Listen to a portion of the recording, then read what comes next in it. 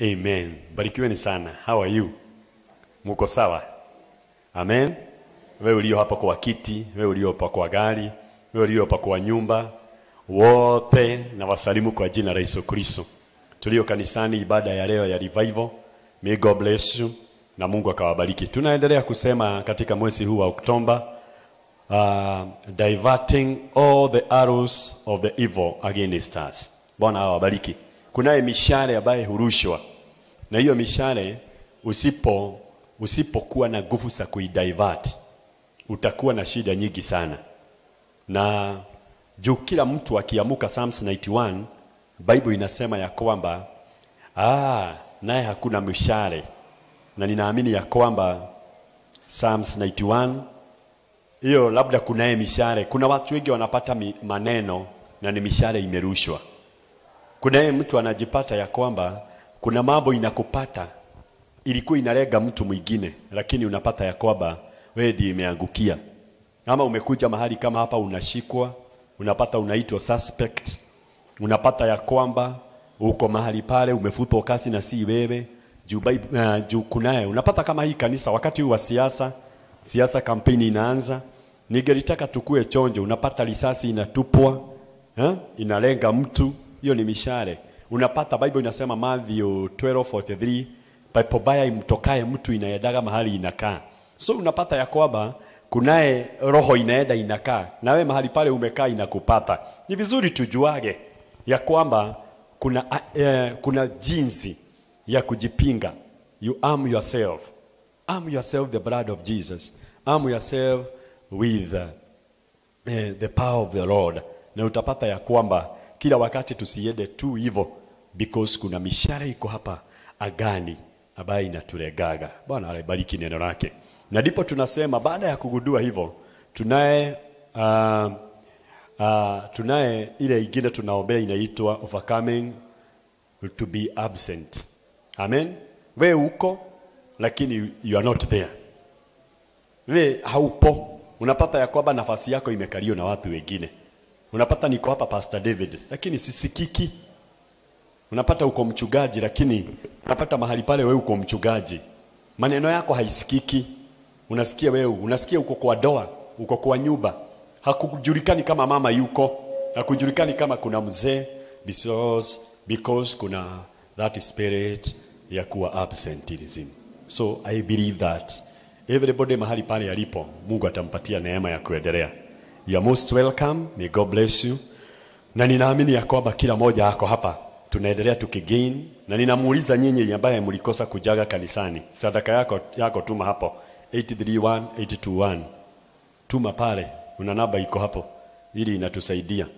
Juu watu wengi wanatuambia tunawaonea tukiwa tukiwa Rugai, wengine tunawaonea, tunamuona mkiwa Kayore, tunaona ukiwa patuma sadaka yako hapo, inatusaidia kupaka kanisa rangi na, ku, na kusafisha. Hata nyinyi mwabaye mlibadilisha kuedaga kanisa, mnasema ni kanisa ya online, tuma sadaka yako. Biblia inasema kama hutatoa sadaka utapakwa matope, utapakwa mavi yako. Usidanganywe na watu ati usitoe sadaka. Sadaka is a command of God. Wewe ukiwa Muislamu, ukiwa kafi, kama hii kanisa ni yako, naweza tupata. Tukitupata katika wawa, tuma tuma sadaka yako hapo, tuma haraka. Ambia Bwana, ninakuomba labda niko na mavi, nimepakwa. Kuna namba inapita hapo hapo chini, hapo kwa YouTube, hapo kwa TV yako, tuma sadaka yako hapo. Na sasa mmeanza kusema hii pasa ameanza kubadilika. Tuma sadaka yako watu wa online. Hiyo frequency hiyo frequency tunalipaga ifikie hapo gadget hiyo tunalipa kuwa parting person tutumie tutumie sadaka yako kama saa hizi tunaenda kuendelea. Tuma hiyo sadaka yako. Tuwasomee katika kitabu wewe bali hutumagi sadaka. Biblia inasema hii video tuendelee. Ipasa soma katika kitabu kitabu ya na. Ni kitabu cha Malaki mlango wa Malaki, pili, Malaki mbili ama? Mlango wa pili mstari wa tatu. Angalieni, nitaikemea mbegu kwa ajili yenu, nami nitapaka nyuso zenu mavi, naam mavi ya sadaka zenu, nanyi mtaondolewa pamoja nayo. God bless you. Wewe ambaye unaambiwa kwamba usitoe, unaona kama ni kututajirisha. Sadaka ya mtu ukikosa kutoa, hiyo ndio mishale moja, utapakagwa mafi yako. For instance, tuseme umekula chakula, wewe ni fungu la kumi, ilikuwa na 10,000 20,000 fungu la kumi ni elfu mbili. Kama ni giri moja umepata ni mia. Na sahani moja approximately tunakulaga na ya mia mbili ama mia. So biologically sahani moja ya chakula ukikula kijiko moja ndio inabakiaga kwa mwili. Hiyo ingine inatokaga kwa mwili. Kwa hivyo hebu toa sahani moja utoe kijiko moja ama mbili ili itabaki kwa mwili. Hiyo ingine ni kisahani kimoja kwa hivyo hiyo mafi ndio mtu anapakagwa wewe unanisikiza sikiliza kwa hivyo saa hizi uko hapo, labda wewe unasema uko na spirit ya rejection. Wewe uko hapo unasema uko na spirit ya rejection. Deuteronomy inasema ya kwamba na kila mtu atoe sadaka kwa amri. In the book of Deuteronomy, na ndio mponywe. Ni lazima mtoe sadaka zenu kwa amri. So leo ninaongelesha mambo ya pesa ili tupinge mishale.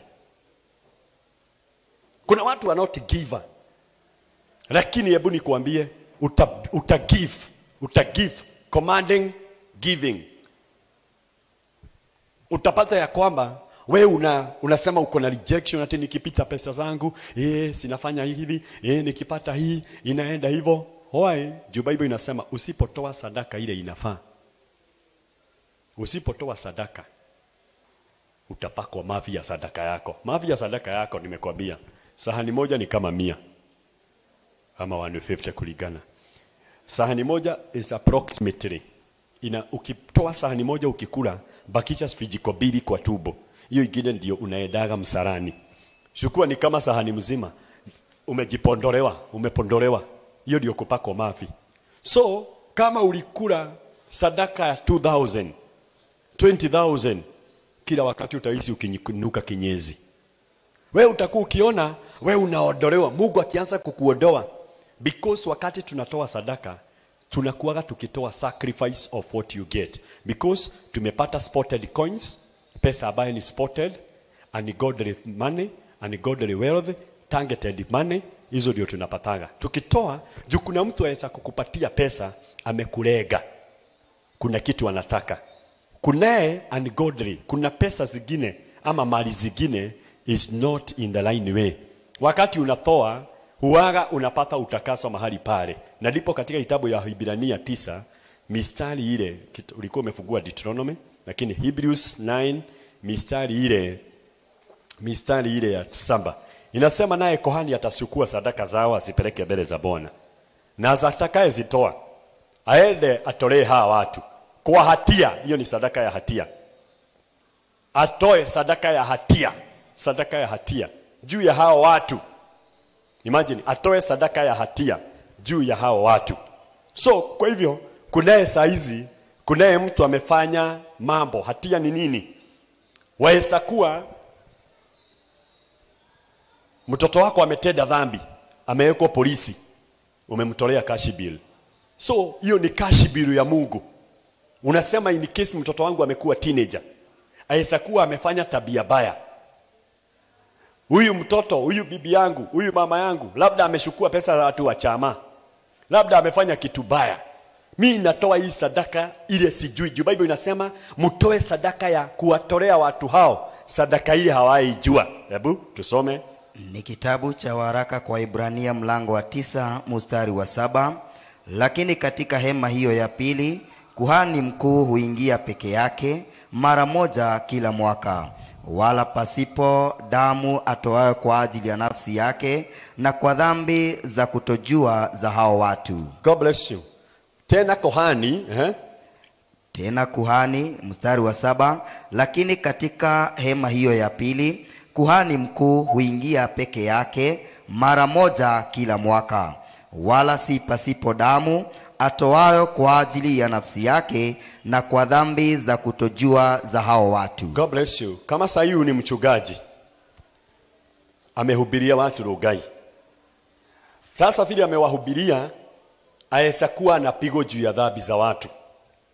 Yeye mwenyewe anafaa akichukua 10% of 10 then aingie katikati ya sadaka, aletee kohani mwingine atoe sadaka juu yake, ili atoe sadaka ya watu hao. Bwana apewe sifa. Juu waweza pigwa dhambi juu ya watu wale wewe unahubiria. Umechukua sadaka, toa 10% ya 10% of 10 then after taking 10% of 10% then inside of that money toa pesa zingine useme nimezitoa kwa sababu ya dhambi zao. Sasa unajitolea wewe. Juu wewe kohani umebeba makosa ya watu. Wewe ndio unabebaga makosa. Na ndipo waweza pata wewe shida ya kwako haiishi ukiwa mchungaji. Wewe una so problem ya wengine lakini wewe financially uko down. Why? Juu wewe unatoa sadaka wakitoa unakula. Wewe hutoagi sadaka juu ya hatia zao so usipotoa hivyo wewe unapataga ya kwamba unakuaga na mapigo si ya dhambi zako na si ya mapigo yako ya kanisa mzima. Uli alikuwa mkora uli alikuwa mwizi uli alikuwa nani hatia yote inakuja kwako. Unapata watoto wako wameambukizwa problemu ya hao washirika. Bwana apewe sifa. Ukiwa kiongozi wewe ni leader wewe ni shearede wewe ni meeroda unafaa ukibeba wewe intercessor. Unasimama unatoa sadaka ya hatia ya hawa watu. Ndipo hata sisi wazazi tunaposhika kama huyu tuko na mama ako na watoto wakubwa. Vili ako na watoto anafaa akitoka kule watoto wake wameolewa na wa huyo mwingine wame, vijana wake wameoa. Baada ya kutoa sadaka anakuja anasema na hii ni ya mimi hatia ya usipoijua. Ili lawama isikunukie wewe. Bwana apewe sifa. Kuna mtu unaogelesha. kwa hivyo wewe ukiwa leader wewe ukiwa mzazi kuna wakati tunatoleaga hiyo dhabihu. Na tunapotoa inaitwa dhabihu sahatia unayejua na usipojua. Bwana apewe sifa. It is good to dedicate for your husband. Juu aesafugwa na dhambi wewe ukiwa mahali pale huko shika sadaka zako za your husband. Shika sadaka zako za your wife. Useme labda huyu bibi labda kuna dryness. Ukiona kwenu kwanza kuna dryness. A lot of dryness. Life yenu ime, ime change. Imechange badala uinuke na unajua consciously ya kwamba huna makosa. Unajua uko na breakthrough ya kiroho lakini huna breakthrough ya kifinance. Jua kuna mahali kuna hatia jina la bwana lipewe sifa. Juu kama uko na upenyo wa kiroho unafaa ukuwe na upenyo huyu mwingine. Halo? Huwezi kuwa uko na upenyo wa kiroho lakini hii ingine umekuwa jangwa. Hapana kuna hatia. Kuna dhambi na hatia. Bwana apewe sifa. Come then katika hatia bible inasema ya kwamba shika hiyo sadaka. Kunaye wakati labda your husband anatumia pesa zako vibaya usherati ulevi toa sadaka hiyo. Labda mtoto wako unajua ni mlevi ama ana tabia ingine ni wa college hujui kule anakaa. Shika sadaka ya hatia. Waambie bwana ninatoaga hizi za hatia. Umetubu dhambi na makosa hatia zake. Bwana apewe sifa. Haleluya. Kunaye mtu ninaongelesha. Na ndipo hapo we will shine the second loud. Because second loud second loud winning lazima uch- win in the spirit in the physical juu in the spirit waweza kuwa lakini katikati ya raundi ya pili ujipate ya kwamba physically life because you know how to repent but you don't know how to confess Many Christians know how to repent, but they don't know how to confess. Hallelujah. Many people know how to can repent. Naomba unisamehe. Asante Bwana. Ah, ah, kuja baba, confession. Mali zangu nimekuwa nikipata. Natumia kupinga watu na kuroga. Pesa za nyumba hii ni za ni za usherati, ni za ubali baya.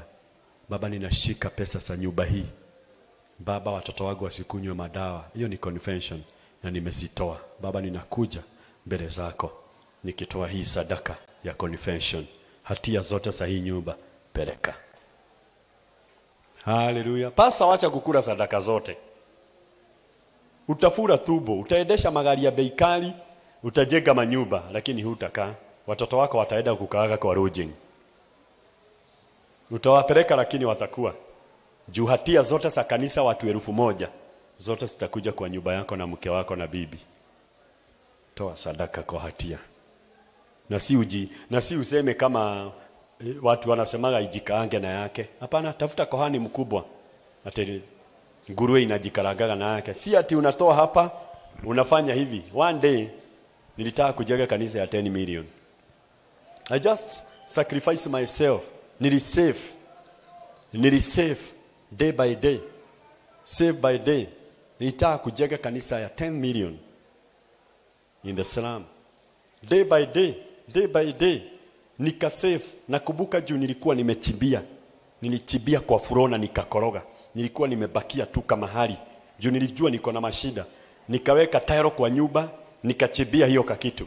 Nilikuwa nataka kusave hapo, nika nilikuwa naweka 50,000, 10,000, 1,000, 50,000, uh, 50 shillings, 5 bob, nikaziweka nikaziweka nikiziadika nikiziandika Silipofika 100,000 nikaenda nikatoa hiyo tile nikaitoa nikaiweka incheji, nikaivuga in bundles nikapelekea mchungaji. Mkamwambia na nikampelekea nyumba ile ninataka kujenga. Kamwambia hii ndio kanisa. Hatia yote yaweza kuwa hapo. Nikapeana kwa madhabahu. Na nikasema hii ndio dhabihu yangu. Ndio nilikuwa na nilitoa 10% of what I want 10% of 10 million is 100,000 nilisave kwa muda mrefu na nikaisave. Nilipoisave juu siwezi jitolea dhabihu mimi, na nikampelekea na nilisave almost one year, ilikuwa wana dahavu year kusave 100,000 nikashishika na nikapeleka.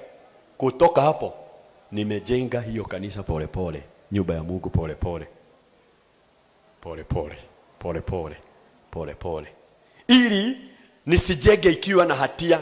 Manabii wakaja wakatabiri, hiyo haiwezi isha, siwezi wasikika. Watu wataaguka, siwezi wasikiza, juu nilijua hatia zote nimetoa dhabihu yake. Bwana apewe sifa.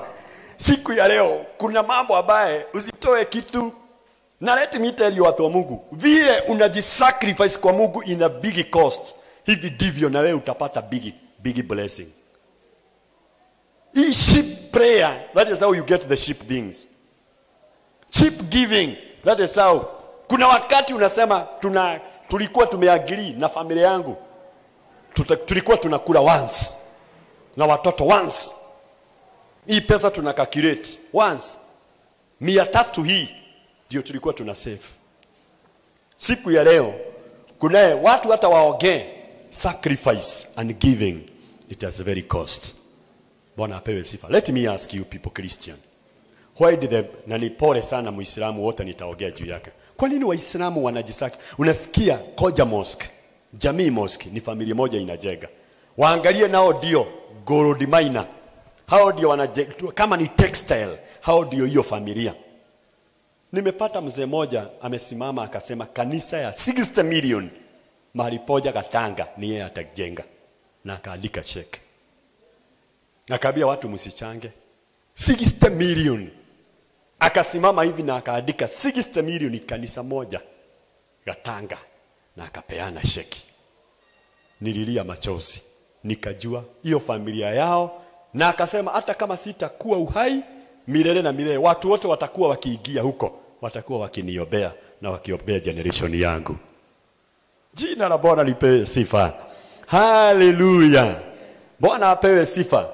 Yesu Kristo alikataa kuombea mtu mmoja, na alipokataa kuombea mtu mmoja, Bible inasema akamwambia, siwezi pee chakula sa mbwa mtoto. Bible inasema public opinion, public demand. Waweza toa dhabihu kuwe na angels demand, ni lazima ubarikiwe. Biblia inasema ya kwamba wakapiga duru wakasema yeye ndiye amejenga yeye ndiye amejenga hiyo hekalu akiwa peke yake. Yeye ndiye amejenga hekalu akiwa peke yake. Ilibidi yesu amuombee. Juu watu walisema sadaka moja yesaguza vile huko naifanya mambo makubwa. Mungu abariki familia yenu. Na ndipo unaonaga watu wale wanajua dunia waesaji sacrifice vitu zote. Bwana akawabariki I pray. Labda uko hapo siku ya leo. Umepakwa mavi ya sadaka yako. You're not a, you just give. Wewe unatoaga sadaka kwa ajili ya mzizimuko. Hapana. Giving offering is a command. Command. Hiyo ni sheria. Si optional is a command. Kama unataka mungu akomandi baraka kwako giving is a command haleluya nani angelitaka abarikiwe siku ya leo? Roho wa mungu. Na tupeanagi sadaka ni kwa sababu tunafanya kazi. Ni anything imekuja across. Uko na mayai ya kuku? Lete. Uko na kitu waisaleta kanisani? Lete. Ifanyike kule. Naye wale wabaye wako huku kanisani wachuge hizo vitu zinatolewa. Ukitaka mungu akuulize pasta wewe mwinjilisti hapa ashas nimuone vitu za kanisa zinaharibika. Laana inaingiaga kwenu. Kama mtu alikuwa naitwa aliadikiwa menemene tekel. Mkiona vitu simeletwa kanisani msije mkakufa kama watu wanaitwa hofina na finihasi. Ukiona mtu ambaye hachugi vitu za mungu we unakuja hapa ninapata mtu mwingine amekanyaga kiti na mapiatu. Hapa hapa mungu anakugogaga automatically. We utaishi ukis, ukisubuka, ti unakuja hapo na ni sadaka zilitolewa we unakanyaga kiti na upaguzi alafu unaacha maviatu inakuwa hapo unaigiaga laana automatically. Laana laana inaigiaga hapo. Mungu anaonaga kama ni yeye unakanyaga. Hiyo ni laana automatically. Kwa hivyo hofina na finihasi bible inasema walimalizwa ni kwa sababu hawakuchuga sadaka. Pasta na wewe ambaye semanzi unashukuaga sadaka chuga sana. Na sadaka haifanyagi usherati. Wewe ambaye uko hapo unashukuaga pesa za pasta na ni za sadaka. Unafanya tabia baya naye. Mnaenda kunywa nazo. Rana inaigiaga automatically. Hofina na finihasi. Hata ukiona wewe ninataka kushauri ukienda hivi ukule ukikula hizo pesa vibaya hujui kama ama wewe mnahesabu hizo pesa zinafaa sitolewe baada ya hivyo sitolewe 10% of 10 sitolewe katika offering siwe money hata wewe ukitaka kubariki watu usije ukatoa pesa za sadaka alafu unaenda unapeana hivyo barabarani utamaliza hiyo generation You need, first of all, take it 10% of 10, then you convert it to the project. Bwana apewe sifa. Haleluya. Ndipo unasikia Bible inasema naye kohani ajitolee sadaka, sadaka ya hatia. Hiyo pesa zimetolewa, toa sikue, usitoe sikue, usibadilishe. Juu labda kuna mtu alikuwa mgonjwa ama? Ametoa pesa zinaitagwa za sickness. Labda kuna mtu ametenda dhambi. Amesema hata hii pesa nimepata nimetoa sadaka ya makosa yangu. Amen. Eh, hiyo ume, umeikuja hapa? Ni the same. Eh, toa toa sadaka. Aha. imekuwa mumeiweka hapa. Then una tamaa yako. Umeweka kwa mfuko. Hapana calculate number one. Toa 10% hatia ya pesa hizo. Kama we ndio kohani kama we ndio mwenye madhabahu kama we ndio unakula hata sinafasi yede siingie kwa account. Then calculate take 10% of 10 toa katikati ya hizo. 10% imetolewa na washirika. Naye pastor ama kanisa in charge take 10% of 10 itolee itoe hatia then subdivide for subject. Subject for the work. Hiyo sasa that is the free money. Bwana apewe sifa. Tunapatana. Kwa hivyo wewe ukigojeaga pasa akupeage kitu hapo. Hii leo kulikuwa sade mgoja wewe atakupea ati pasa sili ameshukua sadaka. Shika shika. Hiyo ni moto anawapee. Kama, kama si mtu faithful kama si mtu faithful atoe kwanza pesa hizi za hatia hata nyinyi nyote mtaagukia hiyo shida. Kama ni pesa za maendeleo kuna mtu anakujaga na thanksgiving. Thanksgiving. Kama ni ya thanksgiving hizo sitaongea hivyo. Bwana akawabariki. Tusomee. Ni kitabu cha Samueli wa kwanza mlango wa pili mstari wa ishirini na mbili. Basi Eli alikuwa mzee sana, naye alisikia habari za mambo yote ambayo wanayo waliwatenda Waisraeli na jinsi walivyolala na wanawake waliokuwa wakitumika mlangoni pa hema ya kukutania. Akawaambia, mbona mnatenda mambo kama hayo? Maana nasikia habari za matendo yenu mabaya kwa watu wote. Sivyo hivyo wanangu, kwa maana habari hii ninayoisikia si habari njema, mwakosesha watu wa Bwana. God bless you. Kwa hivyo siku ya leo hiyo ni watoto walikuwa wanaamuliwa kulage sadaka. So baba anawakanya. So hata kama uko na mtu anakulaga sadaka, mwambie don't give for the four or three. Amen. Are we together? Are we together people?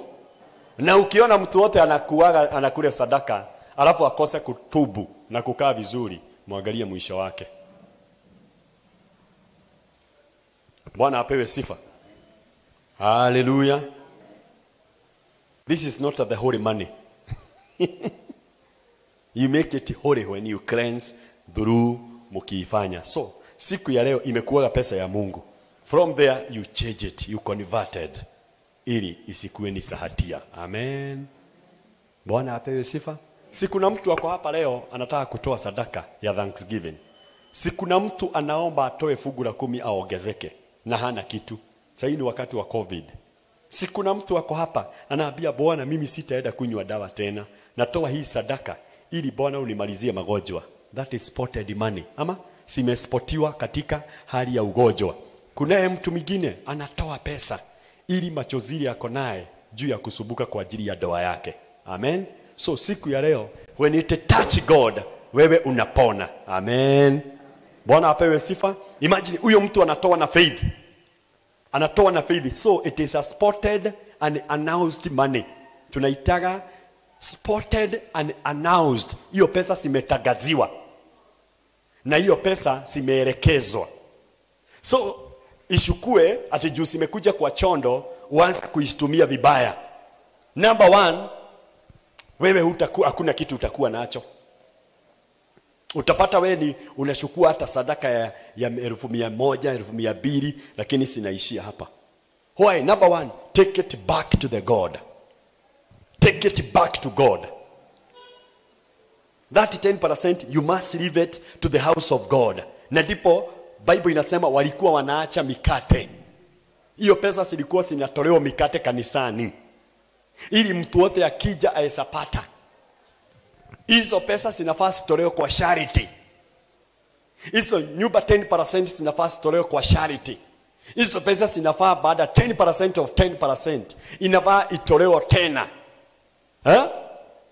kwa watu walio wao polisi kwa mileli ya kanisa ati unapata kanisa kama hii taa hakuna na kuna sadaka inatolewa nyinyi nyote mnatadikwa unapata ya kwamba kumekaa hivi na kuna pesa silikuaga. Bwana apewe sifa. Kuna mtu naongelesha, na ndio pesa zenu zinawasaidiaga. Hiyo sadaka ya kanisa hiyo ndio inainukaga. Unaona, hata kama mtu anatoa sadaka anainuliwa, anainuliwa juu pesa zake zinaogea madhabahuni. Amen. Bwana apewe sifa. Kunaye mtu ninaongelesha, ninaamini mchungaji mahali pale ulipo, wewe mtu wa mahali ulipo, wewe mshirika mahali ulipo, ninaamini ya kwamba utaanza kutoa sadaka usipakwe matope usipakwe mavi usoni offering is a command and 10, uh, 10 of 10% is compulsory ni lazima chochote kitaingia toa 10% shetani anaogopaga taitha katikati ya watu wote baadaye shetani anaogopa ni taitha become a taitha na horia watu wawili ndio shetani anaogopa mtakatifu na taitha hawa watu wawili. So become a na bikama horia uone hata kama kuna jambo gani limekupanga utakuwa ukiona. Every round second round of your life utakuwa ukiscore may god bless you na Mungu akawabariki. Psalms 91 ukifanya hivyo, ukifanya hivyo kuna mambo inatendekaga. Psalms 91 ukifanya hivyo utapata Psalms 91 Ni kitabu cha Zaburi 91 mustari wa tano. Hutaogopa hofu ya usiku, Sikiliza, ukifanya hayo hautaogopa hofu ya usiku, wala mshale, wala mshale urukao mchana, wala mshale urukao mchana, wala tauni ipitayo gizani, wala tauni ipitayo gizani. wala uwele uharibuyo adhuhuri. Uwele ni jaa, kama saizi unapata kuna jaa, wala vile tunasema uchawi, hiyo ndiyo giza ipitayo usiku, a dark night. Unapata? Evil spirit, hata upangio jambo gani hautaogopa. Hiyo ingine utaogopa usiku kama utakutwa juu. Hapo chini nasema Bwana atakuwa mchungaji wako. Amen. So siku ya leo labda kuna mambo inakuogopesha, na ninaamini ya kwamba kado na mambo yale, because umetimiza command of God, jambo la pili utajipata ya kwamba hautaogopa hofu ya usiku na utaogopa uwele, hata kukauke aje, hata kuwe huna kitu, utajua ya kwamba hautakosa school fees, hautapata jaa. Kwako hakutakauka. Ni kwa sababu kunaye ahadi ya Bwana ambaye haifugiki milele. Siku ya leo ninawakabidhi mbele za Bwana wasikilizaji wangu. Na wao wote mlio mahali hapa, nikiamini ya kwamba labda kuna hofu ndani yako, ama labda umepakwa mafi, ni kwa sababu hukutimiza ahadi za Bwana. Leo ningelitaka tutubu mbele za Bwana, na sadaka yako tuma kwa kanisa yako, tuma mahali wewe unanisikiza, tuma kwa mchungaji, tithe, give to your priest. Offering, don't give everywhere the church you enter. Give to your priest. Jua kohani wako. Ninaambia watu nikihubiri, jua kohani wako. Waweza kuwa na wachungaji wengi, lakini huna kohani. Kohani ni mmoja tu, wachungaji ni mamilioni. Jua kohani wako aweza kukutolea ibada. Wachungaji wote waweza kukuombea, lakini kohani ni mmoja, anafaa kukutolea ibada. Bwana apewe sifa. Na huko ndio tunafaa watu wa deliverance, watu wa PCA, watu wa Catholic, watu wa SDA, watu wa kanisa zote ziko, wa Korino, watu wote wa kanisa. Jueni kohani yenu, na wakati utakuwa pale utajua utatetewa. Kuna power of the altar and the power of anointing. Kuna power of the altar and the power of anointing. Anointing is with the man. Eh? Hello? Anointing is the person and, and, and the power is in the altar. Ni lazima tugudue kuna nguvu za madhabahu na upako. Upako uko na mtu na nguvu ziko kwa madhabahu. Juu nguvu za Mungu zikushukae kwa madhabahu, asikuchakagi kwa mtu. Ni lazima mujue hivyo wa Wakristo Wa Kristo mmetangatanga sana. Tumetangatanga. Ni lazima ujue ni mahali kuna kuna nguvu yako. Nani, nani aliyo na upako wako? Upako uko na wachungaji, lakini nguvu za Mungu ziko kwa madhabahu. So ni lazima ujue wakati umepungukiwa na nguvu ni madhabahu gani utakuwa ukienda. Wakati unahitaji upako, waweza suguka kwa wachungaji wote. Tafadhalini wasikilizaji was, was, was, wasikilizaji wangu na kanisa ya diet mahali pote ilipo, mjue muinue madhabahu yenu iwe na nguvu, ili wakati wote tutakaye kibilia, wakati tuko wanyonge, tutakuwa tukipata nguvu ya Mungu. Ndio Daudi alisema uh, Jakobo wakati alipokosa nguvu alirudi Betheli. Waweza suguka kwa upako wote, lakini understand where is your Bethel.